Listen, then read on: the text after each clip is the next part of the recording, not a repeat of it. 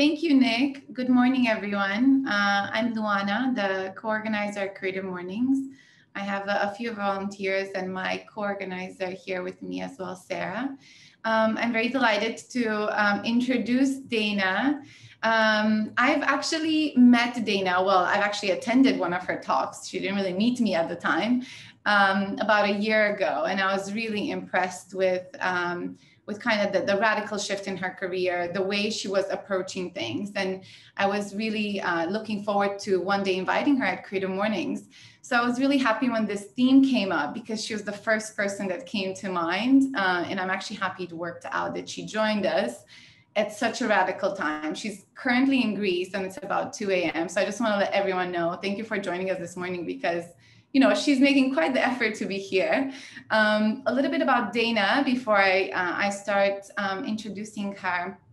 She is an international mediator, lawyer, and a negotiation trainer. Um, she founded Med8, uh, which is excellence in negotiation, um, promoting open communication and empathy, and has been guiding corporates and families for over 25 years. Um, basically, to use tools to resolve even the most critical disputes um, so if you have any dispute questions on negotiation, uh, she's the right person to ask. Um, I think she's uh, she's part of many initiatives, and I'd say another one that uh, really struck me was the Reaching Hearts Giving Back charity, uh, which is um, you know has the mission of supporting children to fulfill the basic needs for food, shelter, and most important, education. So she's really helping children get an education um, in Nepal especially. Um, and in her spare time, she loves to stand do stand-up comedy, which we'll get into a little bit. Um, basically, with the goal of not only raising funds, but also, you know, kind of like getting into the language that we all understand, which is laughter and communicating that way. So, good morning and welcome, Dana. Thank you for joining us. Uh, we're really, really happy to have you here.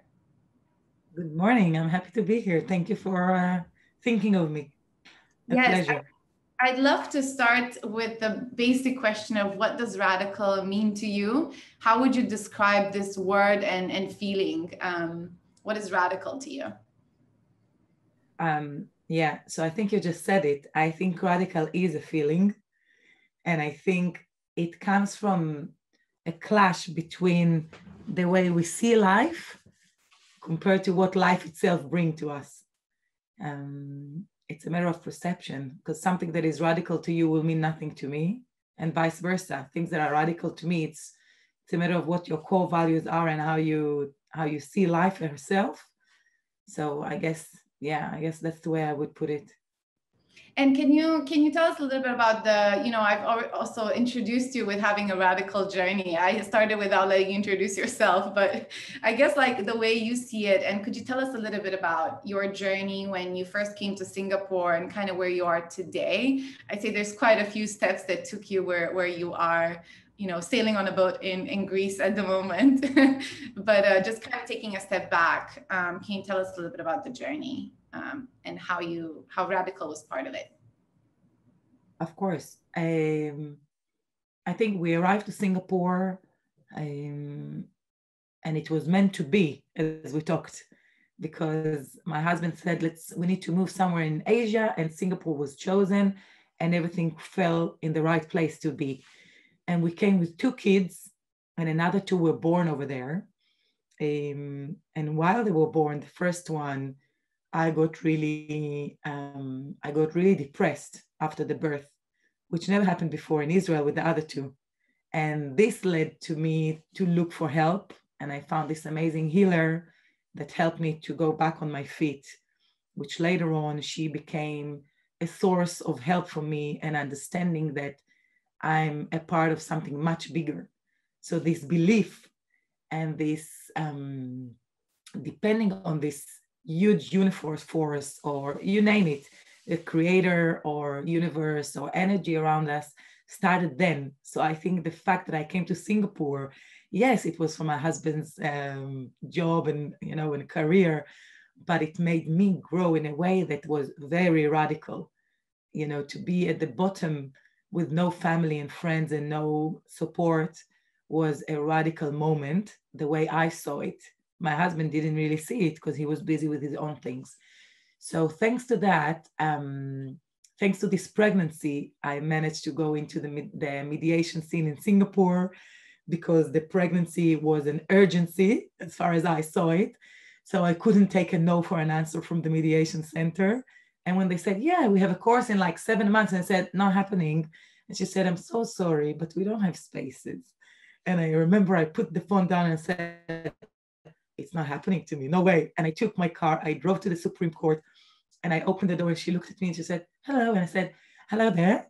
And she said, do I know you? And I said, yeah. We just spoke on the phone. I'm Dana. And she looked and she saw the belly. And I said, I'm sorry, but I can't take no for an answer. This baby will come and I will lose my mind. You have to let me in. And she looked at me, she started to laugh. And then she looked at the computer and she said, Oh, you're so lucky. There's one spot available and the course starts in like three days. And that what brought me to become a mediator in Singapore. And later on, you know, everything, one thing led to another. The mediation I managed to do. A friend asked me to be a diamond dealer in Singapore, and I said, "Okay, cool, let's do it." That was really funny yeah. when you told me about it. Look at me! I'm wearing these, you know, fabric earrings. I have nothing to do with diamonds, except for this admiration of this creation of nature but they asked me to be a drug, um, not a drug dealer, sorry, a diamond dealer. Drug dealing is a different, different story. Um, and I remember I looked and said, okay, what do I do now? I went online, I Googled and said, where do you learn gemology in Singapore?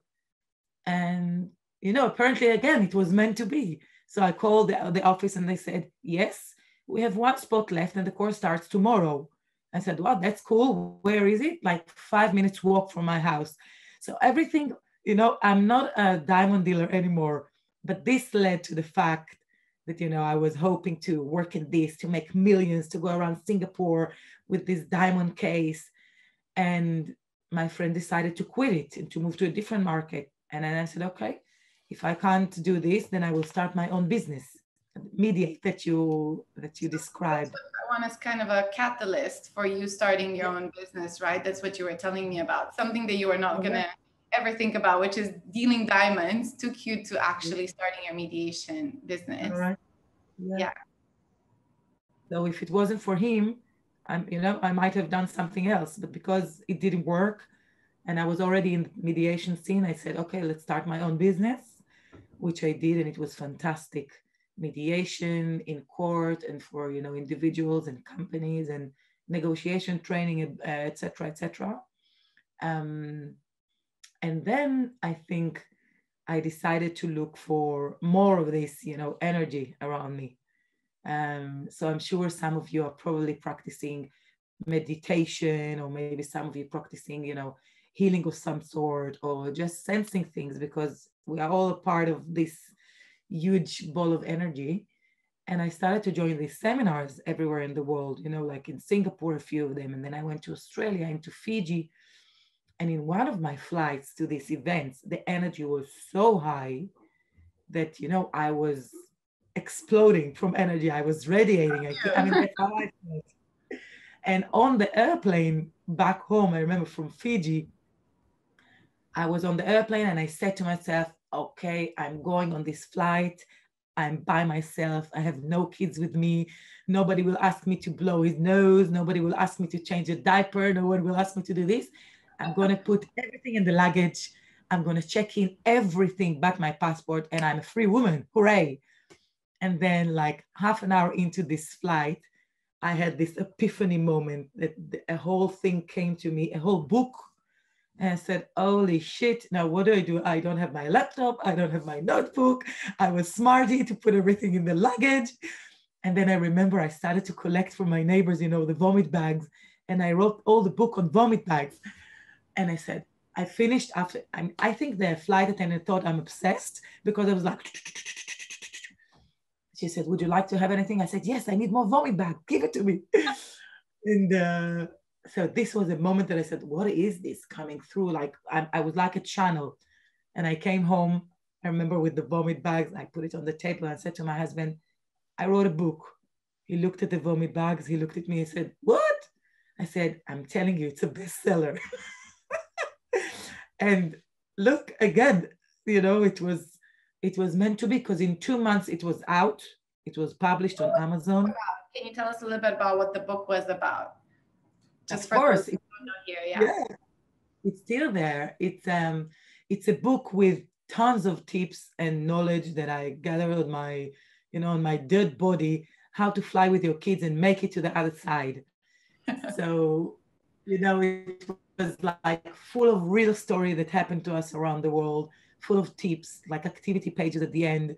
I interview flight attendants. So there's like a chapter of what how they see us, you know, these annoying parents with kids asking for diapers in the middle of the flight.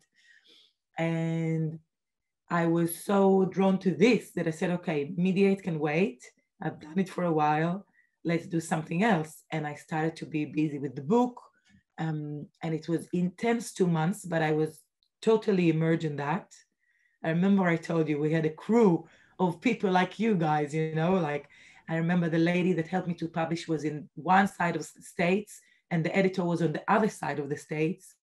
And they illustrated from Malaysia, the um, formatting guy from India, the lady who made the activity pages from Pakistan, and I was in Singapore trying to manage this orchestra. So 2 a.m. was uh, was normal then, like now. Good training. And, yeah, yeah, exactly. And the book came out and became bestseller. Like I don't remember doing so much, but you know, it just it just flew. It flew. So it took you like you, you mentioned about two months to write a book, or quite a quite a quite a fast turnaround for a book, I'd say. Yeah. Listen, when you are born on a vomit bags, you have to go fast. Otherwise, yeah, it disappears, right? You have to, to write everything down.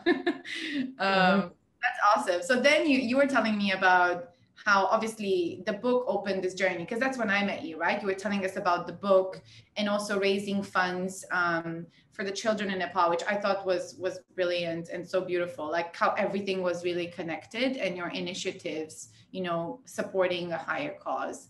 Um, but then you were supposed to have a book tour in 2020. So can you tell us about the radical of 2020? Because I think everyone went through a version of their own, but you know, again, we want your version um, this morning.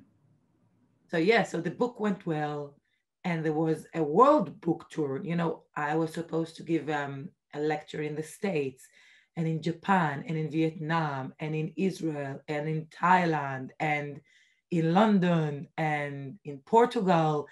And it was so exciting. And I was like, I said, oh my God, I'm an author. Who would have thought? You know, the kid said, Mom, you're an author. And I was like, yeah um, and everything was planned. And I, you know, I even, I remember I even printed like hundreds of books, you know, to carry with me for those book launches all over the world. And COVID started and everything froze. Everything, it wasn't even frozen, it, everything canceled. And I remember I was sitting at home and I said, hmm, well, um, I guess it will be a different year. I'm not going to, you know, to explode with the book all over the place. Um, I remember I even went to the States for a seminar, which the book launch was in the same city, and it didn't happen because it was already, you know, like the beginning of COVID, and people were already, she was worried. She said, let's wait. And I felt like someone took all the air, you know, like out of my beautiful sail but then I said, and I remember my husband, Kedar, told me at the beginning of planning this tour, he said, do you really think this tour is going to promote you, like do something better for you as a human being? And I immediately answered, of course, it's very important. I want to be in the States and in Japan. Everybody needs to know about this book and it's going to help so many of them. And he said, okay. And that's it. And then when everything was canceled, I said, wow, maybe it's not the right way for me to spend my energy and time. Maybe it was just an ego trip that would have been really cool to do. Everybody have a bit of ego, but there's a higher reason for this to be canceled. So I remember after not a long while, I became in peace with that. And I said, okay, the universe has a different plan to me. I let go of this one. It doesn't mean that the book doesn't exist. It means that the book is not as relevant now because people don't fly as much so let it rest in Amazon, do something else. And when the time right, you it will fly again. But then it will not be so much about me. It will be more about the book. So I can be more, you know, like to take a step back. Yeah. Which is- and I think when you when you were telling me about, you know, what happened to the book, but also I think the other situations in your life that led you to where you are today. Um, what I really liked is you told me about this art of surrendering. Um, so I don't know if you can get a little bit into that because I thought that was such an interesting view on on life and on I guess like the way we take decisions moving forward. You know, when we're at crossroads how do we choose to surrender to something knowing that that kind of ran its course or we take it you know another step further pushing for it there is a book that i would like to recommend and it's called my, uh, the surrender experiment by michael singer so that's another book that i got to be introduced in this seminar that opened my mind and i read it and i couldn't stop reading it it really changed my perception about life. And I guess it came with everything else that I was doing at the time meditation and healing and understanding that, yes, I'm important, it's me, but I'm a part of such a huge circle that I should, you know, just chill and relax and let life take me rather than, you know, just make every step I know what's going to happen and this control freakness that a lot of us have. And I remember after reading this story, I said, oh my God, I'm going to start my surrender experiment. And it was last September you know, just be careful what you wish for because everything started, you know what I mean? Um, so my husband decided to leave his job and we were not sure what's going to happen. So he got a job in New Zealand and we were planning to go there. And then COVID was about to start and everything froze. So he said, okay, not New Zealand, so let's go on a trip. We wanted to go to Japan, Japan closed. Uh, let's go to India and Nepal, closed and speaking of what's meant to be, when I went when I went to the States, our flight was one day delayed, and we were very worried um, what's going to happen. And then, bloop, they moved it two days back. You know how they play with it, right? The yeah, yeah. airline. We ended up in the States, um, and we had a spare day suddenly. And guess what? The author of this book, Michael Singer, where do you think he lives? like three hours drive from the seminar place. And I remember I looked at Kedar, Kedar looked at me and said, forget the book, uh, the book launch. We were meant to meet Michael Singer and we went to his house and it was like a mind-blowing evening. Um, so, and you know, and just meet well, an author and go to their house like that. Is it just kind of your power? Like, how do you decide? Oh, I'm gonna go. I don't know. but, but that's the thing. We we I remember I told my husband, I said, we haven't been in the States for so long. Said, where's Michael Singer leaves? And we found out that it's three hours. We ran to the car and said, okay, let's check first. So we called them, speaking of when things supposed to happen. I said, hey, we're just visiting the States. We have an extra day. We love Michael Singer. He changed my life. I'm surrendering here because of him. Oh, screw him. And she said, oh, really? You're very lucky it's only today, tonight, that he's giving a talk. So ah. just come. And I remember it was, you know, like 10 a.m. at the airport, and we just came. we drove, we arrived. And the minute we sat down in the room, he's an amazing guy, and he's doing, you know, like guided meditation as well and talking. The minute we sat down, he has no idea who you are. You're not representing yourself. You're not saying where you are, where you're from. He started to speak about Israel he started to speak about Israel, and we are from Israel. And I was sitting there and I was looking at Kedar. Kedar looked at me and said, He was waiting for us. You know, like, and I guess it's also the way you see things. Maybe he wasn't waiting for me, but I think he was. And I don't care what he was or not. it's you know what I mean? Right. And what you do with that, with the perspective you're given. Yeah. Exactly. So, what are the chances for us to meet him in the States three hours from there, the same day having a talk? And the minute we come, Israel is la la la la la la la. And I'm like, we're in the right spot. So yeah. But this is so about surrendering. Uh, surrendering, yes. And the things coming to you is another spectrum of the story. How you were saying, you know, when things come to you and what do you do with them? Because you could just yeah. let them be or you can kind of take the opportunity to the next level. Yeah, it's kind of like they're opposites, right? Like in that sense. Um, so it's interesting that you work with both. That once you're so passionate and determined that you won't take no for an answer, and yet on the other side, you need to learn how to surrender when things don't go your way. So how do you balance that? How do you decide that? um, like are you a person that really follows their gut feeling like how do you kind of take a decision like that when to surrender when to go all in for it determination wise the way the way he puts it in his book which i'm trying to make my mantra is that whatever comes in your door just accept it. If someone comes to visit you and you don't like them let them in. There's a reason for them to arrive. If there's a job opportunity that is chasing you try to take it. There's probably a lesson there or you know it will take you to your next level. It's making you a better person and reaching your potential somewhere. So being persistent is something healthy i think because then you feel loyal to yourself that whatever you want to make you make but if you keep getting resistant resistant resistant let go don't fall in love with your own idea with your own plan with your own agenda if it's supposed to happen the universe forces as far as i believe will support you will bring you the right people like they brought to my book will bring you the right opportunities, will bring you the right, you know, the right things for you to succeed. And if it's the opposite, it means that you're not on your path. So let go of it. Don't be, I mean, no need to be too sad and to grieve too much and to say, okay, this is not the right thing at the moment. You never know what's going to happen in the future. Mm-hmm. Change a small angle, it will shift so far differently. You know, if you move one angle, it still takes you there instead of there.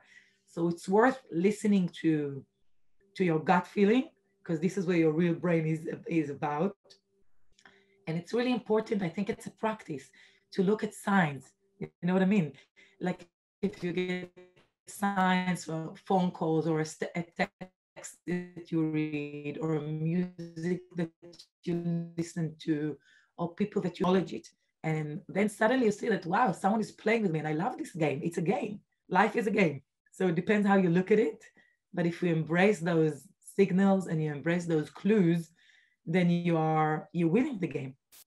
You're yeah. winning it. Maybe not the way you thought you're going to win it, but you're on the right path, or your life are your life is smooth, smoother than you thought. I think.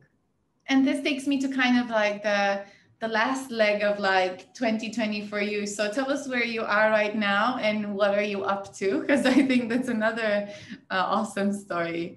Uh, being on a on a boat in Greece at the moment. So you see, it's also a part of my surrendering experiment, and that's the part that I said, "Oh my God, screw you with your surrendering. what have I wished for?" But the minute we started, um, we decided to leave Singapore, and my husband said he's, you know, he announced that he's quitting his job, blah blah blah blah. So we thought New Zealand is going to work, and then we thought Italy is going to work, and Israel is going to work, and nothing worked. And you know, I'm living in my dream that everything will be fine because things will fall, you know, in the right place. And my husband is like, what's going to happen with your four kids? Money. Da, da, da. And then I said, look, if we can't go to Israel yet, because um, wanted to wait until 2021, I said, how about we go on a trip for a few months uh, and see how it goes? And he said, a trip, and I need to get a job. And I said, you don't really need to get a job. You know, we've worked hard until now. We can take a pause, like a sabbatical, and go and travel. So New Zealand closed and Japan closed. And, you know, as I said, India and Nepal closed. These were my, you know, main focus. And I said, okay, so where do we go? Where is one place that they have to let us in? And I said, okay, it's Europe because you all have European passport, but me, hopefully they will have some mercy and will let me in because I'm married to you. And as the universe plays with you, you know, sometimes it's like hide and seek. I got my passport three days before we left Singapore. Three days. It was like nerve breaking, like, oh am I going to get it? Am I going to get it? And I got it. Um, and we said, okay, where do we go? I said, let's go to Greece because it's big enough and isolated enough. We can find an island and just, you know, just disconnect if we need to because of COVID and we said, okay, how are we going to move from island to island? I said, let's take a boat.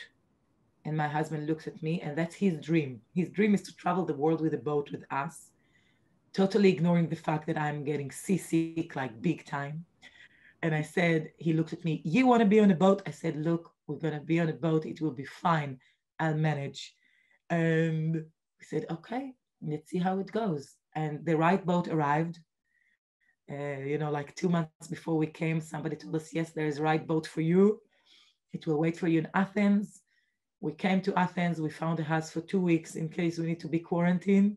And we started sailing. And my husband knows how to sail, but never sailed a catamaran. This is like big, guys. I'm telling you, I've never been on, on a catamaran like this. We never slept on a catamaran. Mm-hmm. But again, things worked. You know, he called someone to come and be our skipper. So we had a skipper for one week to learn about the boat. And then he managed to manage to do it like this, that the next person who is the instructor and the one who's supposed to see if you if you can do it to give you the certificate Kay was supposed to come just the day after. And then he called us and said, guys, I'm sorry, I can't make it on Friday. I will come on Monday. And we said, oh shit, now what are we going to do four days alone on the boat? I was scared. I said to Kedar, no matter what, we're going to be in a marina. I don't want to move the boat alone without him. And you know what happened on those four days? My brother called from Israel and told us he's coming to get married in Greece. And they said it's going to happen on this specific Friday. And I said, oh, okay, so this why the reason he couldn't make it. And we had a weekend of wedding suddenly out of out of the blue. Um, it was a blast, and we had a four-day wedding. And then the instructor came, and we went sailing, and we've been sailing since then. It's crazy, just crazy. So, so, a lot of things that took you to to today, like a lot of the different journeys, if, even just what you shared with us today, and I'm sure there's more feels quite, quite everything's quite different right but it's all facets of who you are and they're kind of like there within you and you choose okay let me bring this out and let me bring this out now. Like the catamaran the the writer the you know things that you never thought about probably right? Never never. It's like you know it's like putting i don't know like a, a donkey on a boat. My element is is ground. I'm i'm, I'm in the forest but suddenly they've shaken my world so big and I have no one to blame. You know how bad it is because I suggested it. So yes. I could complain. I have no one to blame. I need to cope with it. Not not only that, they made me second in command. Do you know what that means? I need no, to tell us about that. what do you have to do? second in command, like what the hell? I need to understand the boat, the motor. I need to be able to collect my husband if he falls in the water. It's called man overboard. I told him, dude, if you're going in the water, you're screwed. I'm not going to pick you up. I don't know how to reverse this thing. So it's super radical. Uh, and, you know, again, it's radical to me because it's all new to me. And I made a decision. And, you know, when there was a storm one night, I thought I'm going to die. I really thought I'm going to die. But for my husband, it's not radical at all. He's been on the ocean before, he's been in storms before he said, just chill. We're going to put the motor, we'll be fine. And I was like, oh, oh, oh, we're going to be fine. We're going to, we're going to clash in the, and I made a drama. But again, radical perspective, because for me, I thought I'm going to die. And he thought I'm going to lose it. But he was laughing. He wasn't getting stressed, which is a big deal. A nice um, balance. Keep, keeps nice balance. Yes. Oh my God. Oh my God. Listen, they tell you to do new things in order to stimulate your brain, right? To go outside of your comfort zone. I tell you guys, go on a boat, like my brain is exploding. Oh, thank you so much, Dana. This is this has been at least at least for me a very uplifting morning. Uh, you know, when you think of radical, you you might not think of all these uh, funny anecdotes, and you know, because I guess it's not all funny, because all the things um, that led you to today were you know quite different. Um, and I want to thank you for joining us at this time because yeah, I was really grateful when I when I emailed you and I, I thought, oh, oh wow, she's not going to respond. But then I said, you know, but the, the theme is radical if I remember her from her talk, she will be all for this. And you are. And I was really happy that, you know, that that aligned for me at least, for me and Creative Mornings. Um, I would love to take some questions from the audience, uh, whether you guys want to unmute yourself and ask them, or you can just put them in the chat. Um, and then the lucky person who's asking the nicest question will get um, a gift from Creative Mornings, our Creative Mornings manifesto, uh, which is something that we really stand um, behind. But again, thank you, Dana. Um, I think that's, thank you You're for joining today. Um, and then let's see if you have, we have some questions from the audience. Yeah, it's uh, Michael Grohl calling from Perth. I come to Singapore sometimes to do coaching. I haven't been there for ages. Uh, so Dana, I really liked listening to you. I, I want to ask you a very practical question.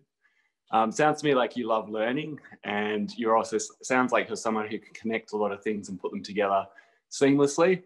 Uh, from a practical perspective, um, how do you ask for stuff? Like you talk about asking the universe, but when you're uh, asking for Michael Singer, what's your approach to asking for things? Oh, it's a good question, dude. So hello there, Ozzy. Um, so I think like it's a good question. The thing is like that. I think whatever you want, you should ask for, but don't fall in love with the idea of getting it. So if you wish to, I don't know, I want to get this job, I want to get this job. Yes, pray, meditate, see yourself in the job, already imagine yourself there. I really believe in the power of us creating our own reality. Yet, if it doesn't work, it's not something against you, it's something for you. You might not see it now, you might see it later, but surrender and accept the fact that if it doesn't work, maybe there's a higher reason for it. You can try, be persistent, try every avenue, but if it doesn't go smooth, it was not meant to be, probably. And um, I get it from a few friends of mine, and they said, But how do you know what to ask for? A lot of people just don't ask because they don't know what. So if you know what to ask, you're very lucky. And I said, If you don't know what to ask for, ask that. What should I ask for? So it's okay when you practice to ask, What should I ask for? And you will be guided by whether it's your uh, guidance, you know, like spiritual guidance, or whether it's the universal energy, whatever you believe in but you will get a sign, you will get a clue, you will get um, a direction. Thank I you. hope that helped.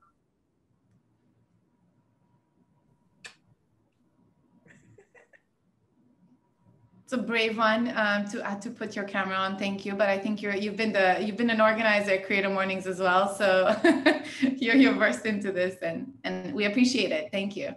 Um, anyone else has any other questions for Dana?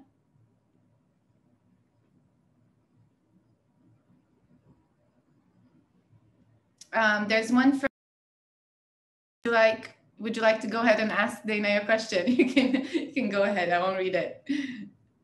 Oh yeah, so I think I had a bit of typos there, but like, what questions as as a mediator, what questions would you ask to get a deeper, uh, deeper understanding and go deeper into the issue to get a positive result from mediation? Good one as well. Well done it's a simple question that people usually don't ask. Um, and what I ask the sides, the disputants that are coming to mediation in order to get their deeper understanding, is I ask, what do they want? They usually don't tell you what they want. They tell you what happened, how they feel about it, why it's wrong, why it's right, but they never stop to tell you what they want. When you ask someone, what do you need? They literally come up with the true needs and issue that are sitting on their souls and then you can map and see what's in common ground between them and then working on the common ground which is another question that nobody usually asks. You know usually ask what do you disagree? What is the topic of the dispute? But when you ask what do you have in common suddenly you put them in a positive perspective to look at the issue in a different glasses. So these two questions usually bring out a lot of a lot of information. Go for it try it. All right thank you. You're welcome. We have one more. Thank you, Nick. We have one more question from Tista. Um, any tips to come to overcome the feeling uh, or sense of doom when asking tough questions? Again, please. So, any, any tips to overcome the feeling of of sense of doom? So, like when you feel uneasy when you ask tough questions, like do you have any um, yeah any advice on how to overcome that? Like kind of like you know when you when you have to ask a really hard question and it's it's really hard to put it out there. So that's one struggle i would assume interpreting what batista's saying. Yeah. um, but then like how do you overcome yeah that feeling and asking it and go for it basically? I am so good. It's a fantastic question. The whole point of asking questions usually is to get information and to move forward. I think i assume Therefore, before you ask the question, if you focus on what you want to get out of it, if you focus on the outcome, if you focus on the progress, if you focus on, you know what, when I'm asking this damn question, I'll get it off my chest. When you are concentrating on the results and what you're going to gain out of it, it makes it easier because the question serves the purpose. It's not the question that is the topic anymore. The journey is the topic. So what is going to bring me from one from point A to point B? Asking this question, talking this, this to this person, writing this email, and taking a shower, whatever. So once you see it as a tool, you don't put so much weight on it, I think. So it makes it easier to to go with it. Yeah. And we are only human. Even if you made a mistake or you you heard oops, the little one woke up one minute. Okay, gone. Um, moved from one room to another. Uh, that's the benefit of a boat, you know, it's like two meters from one room to another. Um, so I think, yeah, when you focus on the outcome and what you want to achieve, and also you remember that you're just human. So even if you ask it in a wrong way and someone got hurt, if you had positive intent, it will go, it will go okay because you're coming from a good place and you won't hurt anyone deeply because you really mean well by asking it. And if you don't, then reframe the question. Thank you for I the question. Thanks. Thank you, Dana, for your answer. And we have one more. Um, what are some of the rituals that you practice to embrace being radical in times of uncertainty? Yeah, what do I practice? Um, first of all, I'm I learned healing. So by learning healing, I'm doing a different meditation, but I guess doing meditation is really helpful. And I know everybody's speaking about meditation and how cool it is. And then people that are not doing it are overwhelmed. Like, how do I start? What do I do? And I was the same. So for me, the healing gave me a way. I'm just connecting, and I'll tell you in a minute how I do it.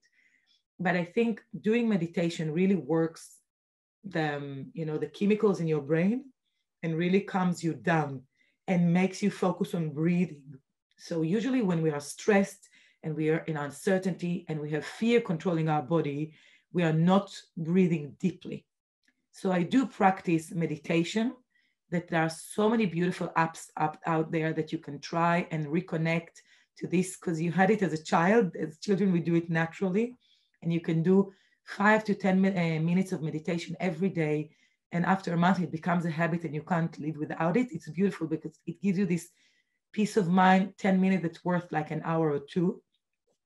I do a lot of uh, breathing exercise.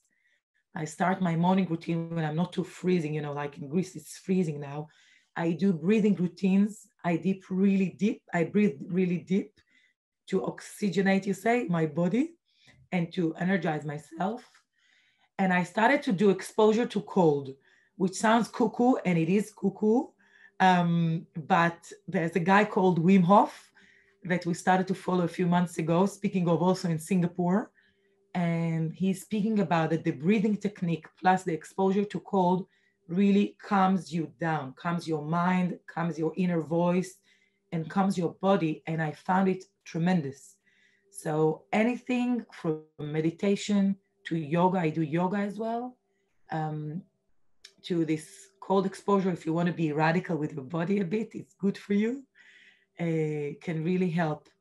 And um, what I do, just to give you an example that is really easy to try and do yourself, I'm closing my eyes and I do it with my kids. So I'm not sure how many of you are older than not having kids, but um, it works well for you, it works well for them. You close your eyes. It doesn't matter if you sit or you lie down and you're imagining this ball of light coming to you. And this ball of light, you know, our imagination is super strong. So it doesn't matter if it takes you 30 seconds to reach this ball of light or two and a half minutes. Screw the rules. There are no rules. The minute the ball of light come to you, it can be as tiny as an apple or as huge as the universe. Who cares? You pay attention to the color because the color usually represent, you know, the area of your body that needs more energy, you know, like the chakras. You can read in Google, it's easy. And then you ask this ball of light to come to your head, to tickle, tickle, tickle, and go inside, and then, you know, fill with light all your body.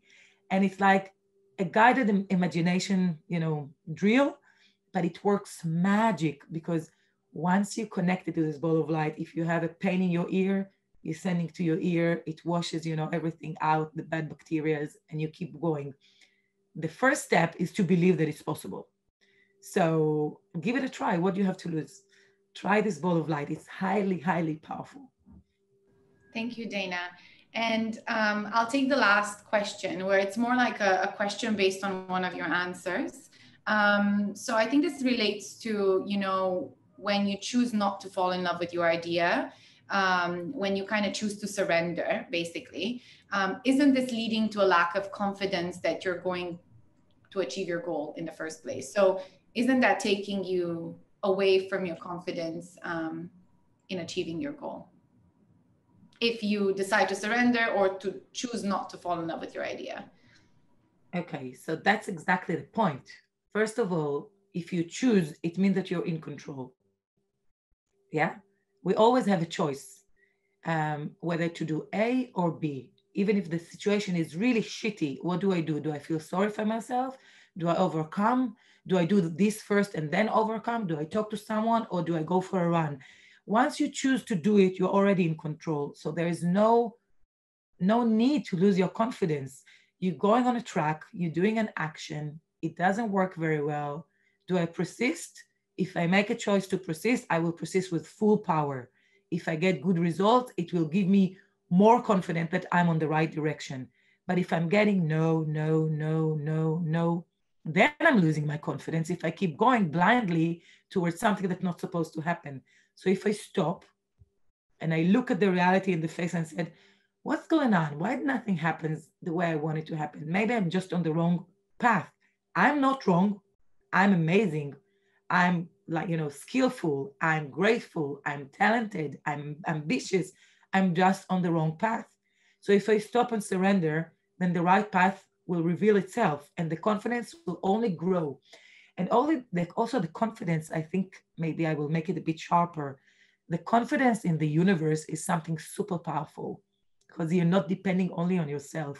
So if, if you believe there is god there is a creator there is something bigger than us when you put your confidence in this and you understand that you're just one way of making it happen then the confidence is super comforting because it's much bigger than just us you know, taking care of ourselves. We are a part of something much bigger. So I think it allows you to feel empowered to make choices that are not the easy ones, but it will show you and prove you that you've done right to give you the confidence to do it again in the future.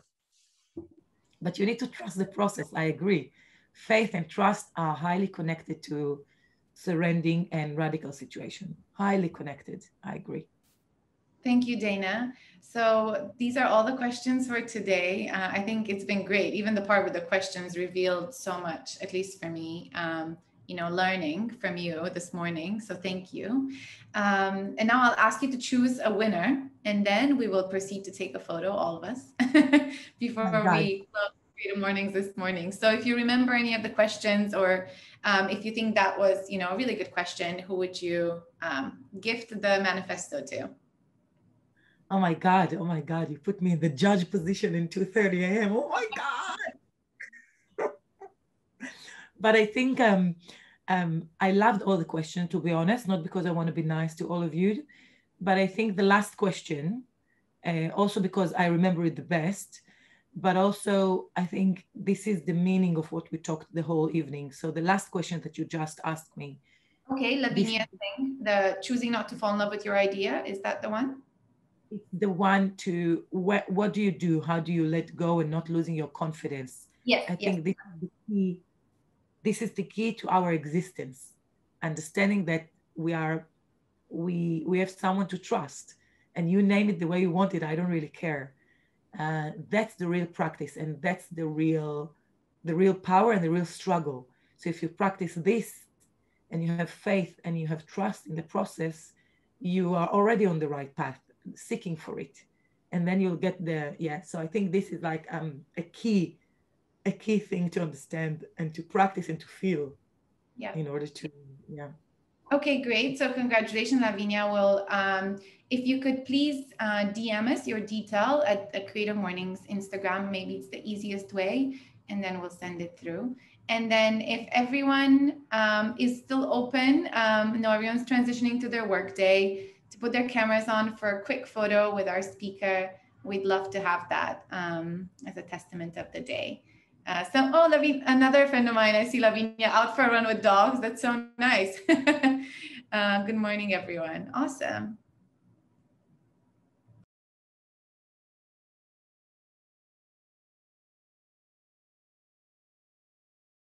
Okay, so um, I will take a photo.